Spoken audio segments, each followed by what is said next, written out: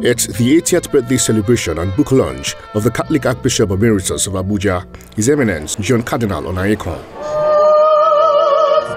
Dignitaries from all walks of life, including the Senate President, Senator Godswill Akpabio, former head of state General Yakubu Gowon, presidential candidate of the Labour Party in the 2023 general elections, Mr. Peter Obi, amongst many others, graced the occasion. The Senate President, Mr. Pabu, has a message for all Nigerians. Cardinal Onaiyekan Foundation encapsulates and concludes what we are here to do. I'm quoting from it. We celebrate you, great compatriot, a man of honor, an apostle of peace, true prophet of our time, indefatigable advocate of justice, a beacon of hope, humble servant of God, giant of our generation, jewel of inestimable value, a rare creation of God, and a prince of the church of God. In other words, a prince of Christendom. His Eminence, Cardinal Onaiyekan. Cardinal Onaiyekan's leadership and ministry have been marked by resolute pursuit of justice and equality. In the face of injustice, he has been a tireless advocate for the marginalized and the voiceless. His Eminence has taught us that true leadership lies not in the pursuit of power, but in the relentless pursuit of justice and the untiring commitment to uplifting the spirit of the most vulnerable amongst us. But it is not just his actions that inspire us. It is his words that resonate constantly in our hearts. His Eminence possesses a rare gift of eloquence and a profound ability to unite people from all walks of life, even though sometimes, for those of us who are politicians, when he starts speaking, we hold our breath. His words have the power to heal, to bridge divides, and to ignite the flames of hope in even the darkest of times. His sermons have touched the hearts of millions, reminding us of our shared humanity and the inherent dignity that resides within each and every one of us. While giving a toast for the occasion, so General much. Gowon lists the virtues of the celebrant and urges Nigerians to emulate him. At 80, Cardinal Onaiyekan stands as a shining example of grace and resilience.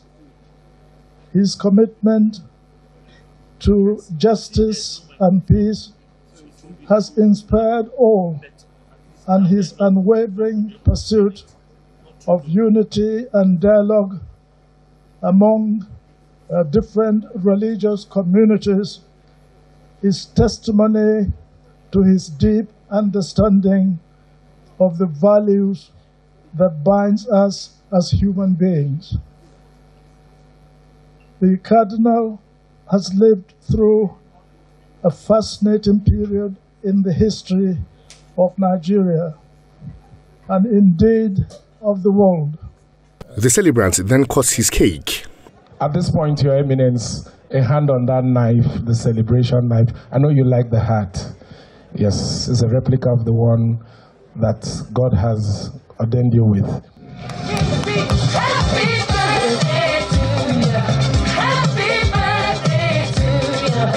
Overwhelmed by the show of support, the celebrant vows to continue preaching peace and unity. At 8 o'clock on Monday, the 29th of uh, January, I was with the Holy Father Pope Francis in the Apostolic Palace.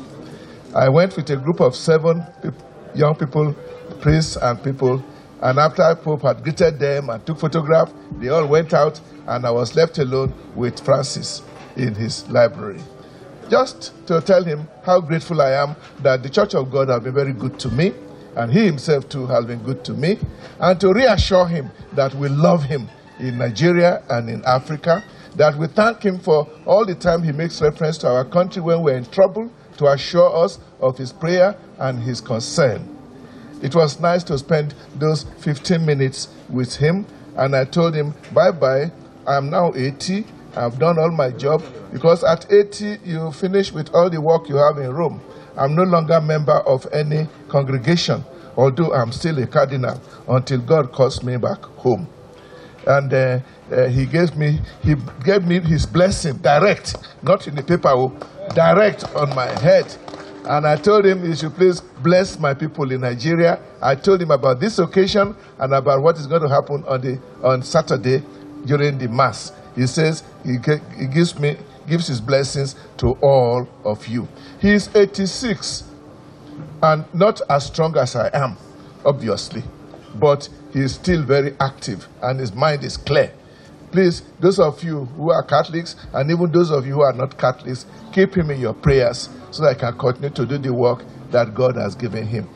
Thank you, my brothers. This is a surprise for me. At least I put this on my table now to remind me of what has actually happened. May the Lord God bless all of you. The second session of the celebration is the presentation of a book in his honor.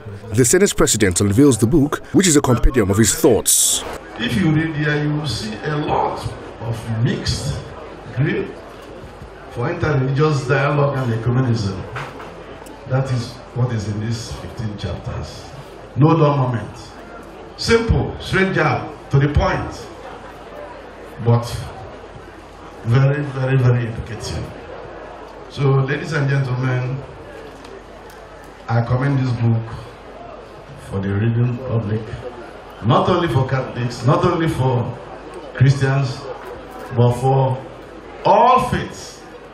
All faith, because it as an interreligious book of faith. Christians, Muslim, and traditionalists, this book is all for you.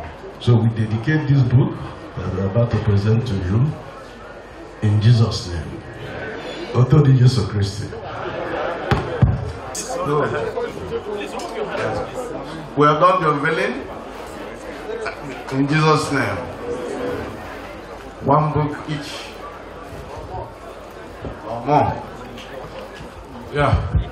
That's whatever for the foundation and for the book as well. Because uh, I think proceeds will go to the foundation. Uh-huh. So the chairman of the foundation is there, so board of the foundation, fantastic. Your Excellency and His Eminence Cardinal Onaiyekan, we are happy with this religion for peace. Yeah, peace for the last 80 years and he has more years on earth. We are delighted with this piece that you have given to a world and all of us are here to support and to launch uh, the book. Dignitaries speak on the contributions of the cardinal to the society. On behalf of the Catholic Archdiocese of Abuja and the Cardinal Onaiyekan Foundation for Peace, it is my profound honor to extend a very warm welcome. Our presence here today is not merely a testament to the high regard in which we all hold His eminence, but also to the shared vision of a peaceful and just society that He has tirelessly worked to foster. Under the esteemed chairmanship of Senior Godswill Akpabio, GCON, whose remarkable dedication to service and leadership continues to inspire many, we are set to embark on a day's journey of celebration and reflection. To our guests, your contributions and support have been instrumental in making this event possible. And to, to our audience, both here and afar, your enthusiasm to partake in today's celebration speaks volumes of the communal spirit we cherish in our beloved country, Nigeria. His eminence has been the human equivalent of a blazing torch, always spiritually ablaze to keep the rest of us safe. He literally sets himself on fire to keep the rest of us warm. Borrowing from the website of the Cardinal Onaiyekan Foundation for Peace, in the past decades, John Cardinal Onaiyekan has become a historic reference point in matters of intra and interreligious dialogue and leadership. His professionalism in this field is regularly sought after both locally and internationally, and this has earned him recognitions and many esteemed awards and laurels. He has taught around the world, delivering lectures at prestigious institutions as well as high-level conferences on global justice, peace, and human development. We are here to celebrate a man of peace, a man of ideas, a man who has contributed in no small measure to the cooperation of all major religions. And it's coming at a time when we're experiencing religious extremism in some part of the country, whether in the northern part of the country or in the southern part of the country. So aside from the fact that we're celebrating the values he represents, John Cardinal Onaiyekan, created in 2012, is a good man. John Cardinal Onaikan, in fact, looking by the books that we are launching today, Interreligious Tolerance, you can see that he's a man of peace. He brought a lot of understanding into Christianity in Abuja and Abuja Archdiocese. John Cardinal Onaiyekan was ordained as a priest in 1969 at the age of 25 and became the youngest auxiliary bishop of Ilorin at the age of 38. He resigned as the Catholic Archbishop Emeritus of Abuja in 2019. Daily Omoyeni, Channels Television News.